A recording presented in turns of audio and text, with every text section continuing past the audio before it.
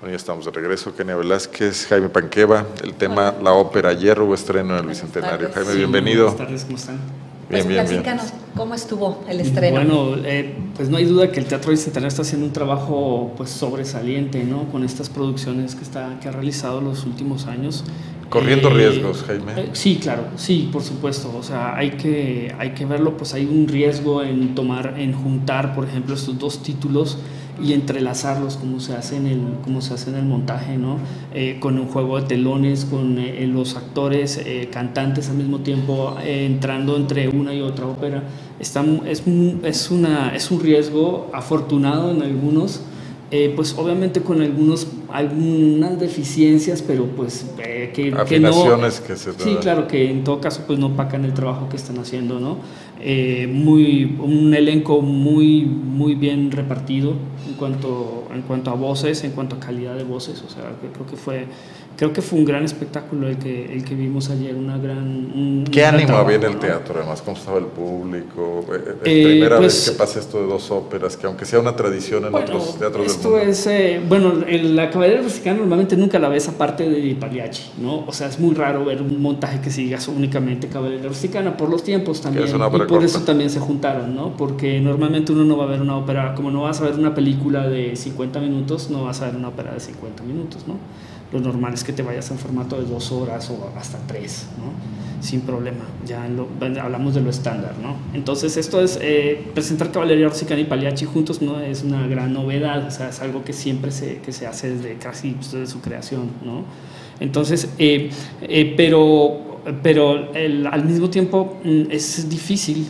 Pero Es- eso es algo que ya conoce un público de ópera. Y Sí. como que en León Sí, este no público está en formación todavía, Pues yo, ¿no? yo o ya creo sientes que, que, ya... yo creo que también hay un público que ya conoce, o sea, ya hay un público que, que gusta de la ópera, que viene incluso de, pues como en mi caso, que viene de diferentes ciudades, Tú que vienes yo de Irapuato, es. o viene de San Miguel de Allende, viene de Guanajuato, de Guanajuato capital, a ver a León a ver el Teatro Bicentenario, o sea, creo que en eso eh, él ha tenido una muy buena acogida la, la temporada de- del Teatro Bicentenario.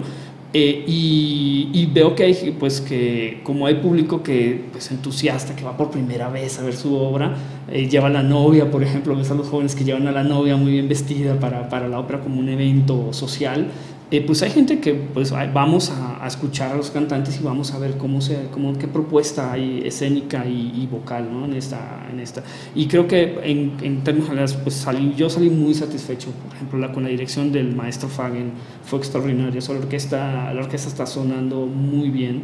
Eh, me voy contento también con pues haber visto a Carlos Almaguer, que siempre es un gusto verlo, la, con su calidad vocal y el poder que, que tiene el, como, como barítono, fue extraordinario.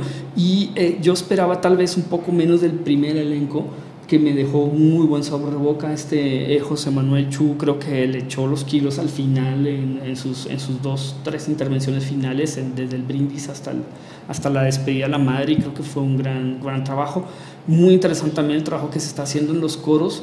Eh, que pues eh, son- se oyen voces muy jóvenes, eh, en algunos pasajes se siente que se pasa de volumen o que se pasa de fuerza, y es Pero lo que necesita que- la obra, ¿no? que has oído mucha hay que ópera. matizarlos, mati- trabajar, tra- trabajar más en los matices, pero te digo, es un trabajo, es, pero suena, suena extraordinario, o sea, son muy Que son como buenos. detalles de la Sí, primera claro, son- presentación. ¿verdad? Pero ya ves que también uno está así como dicen que Dios o el diablo están los detalles, ¿no? Que Así está en es. eso. Oye, ¿y los en niños? ese- en esos el coro de Valle de Señora. Eh, bien, bien. El- el- no hay un coro, bueno, los coros infantiles son bastante cortos en, en esto y muchas veces se amalgaman también con el coro general en estos, en estos dos, en estas dos obras, ¿no? Pero los niños muy bien, e incluso actuando también muy, muy acertados. Estuvo la, la disposición que hace el director escénico con los niños en, en escena es bastante acertada también, me, me pareció bastante buena. Buen Eh, lleno, entró la gente. Entró bastante gente, sí, se, sí estaba prácticamente lleno. Las primeras filas, curiosamente, de la platea no estaban llenas, no, no se alcanzó a llenar Es totalmente. que siempre es como incómodo. Sí, por, yo creo que es por la misma, por el mismo montaje, ¿no? Eh, Hacerte muy cerca, Ok, pierdes el tienes a la, plano a- general. a la orquesta cerca. Y ¿quién le aparte son los más costosos, ¿no? Sí. Que en eso yo hacía algún tiempo una sugerencia y es que estos lugares que no se venden, sería muy bueno dar un buen descuento para estudiantes una Al media final. hora antes de, una media hora o 15 minutos minutos antes de, de, cerrar la ópera, como se hace en grandes casas de, de ópera, ¿no? Los estudiantes, yo, yo pude ver ópera así, yo pagaba una décima parte del boleto, pero se asegura ya el lleno y aparte atraes público joven para ver el, para ver el espectáculo, ¿no? Es una buena, una buena medida que recomendaría. Ahora, ya de cada uno de los repartos de Caballería de Pagliacci, ¿cómo los viste? ¿Equilibrados en cada momento?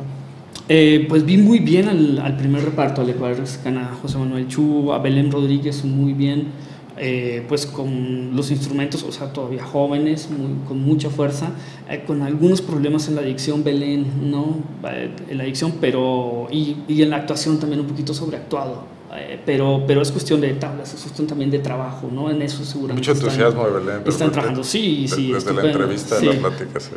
Sí, de sí, no, muy, muy, o sea, mucha fuerza. Con, y, y, es una ópera que, pues, por el mismo drama que contiene, pues exige esta, exige esta fuerza, ¿no? esta visceralidad ¿no? de, de, la, de, los, de los protagonistas. Y José Manuel Chu, la verdad me sorprendió mucho, lo había escuchado algo en el ensayo y tenía mis dudas, pero, pero muy bien, o sea, sí sacó la casta mucho en, este, con este Turidu. Y el, el, reparto siguiente esperaba un poco más tal vez del, del, de un dramático, un tenor dramático que está sonando en Otelo en diferentes teatros de, de Europa. Christian, eh, Christian Benedict eh, tiene un muy buen timbre, un timbre muy agradable, eh, pues muy afinado. Se interpreta bien como actor, pero yo esperaba, tal vez se lo habían, Estaba, había hecho mucha publicidad, claro, sí, tenía demasiadas las expectativas demasiado altas, pero, pero cumplen muy bien, o sea, Violeta también la, la vi un poco baja en, en voz, pero, pero muy bien en la actuación. Y es que también es la, también la otra gran dificultad de esta, es particularmente de Pagliacci, ¿no? Y lo comentábamos en la entrevista, o lo van a escuchar en la entrevista, que en, en la ópera no es solo canto, no es solo música, ¿no? También es una actuación. Y Pagliacci exige que los actores actúen como que si estuvieran actuando. Entonces es, es ese teatro dentro del teatro, particularmente de esta, de esta obra, ¿no? Y, y al final, pues fue, creo que eh, eh, Silvio, por ejemplo, eh, oh, se me escapó ahora el nombre, eh, una voz también muy joven que hizo un dueto de amor muy bonito con, con Violeta, creo que valió también muchísimo la pena.